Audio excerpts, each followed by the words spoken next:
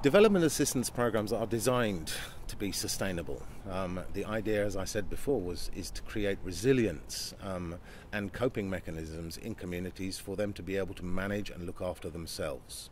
When development programs are designed, they are done in conjunction with the communities that, that are going to be benefiting from them with local government and with um, national governments. It is not a question of us going there and deciding what people need and providing what we think they, they want. Um, it is purely a participatory process driven by those communities.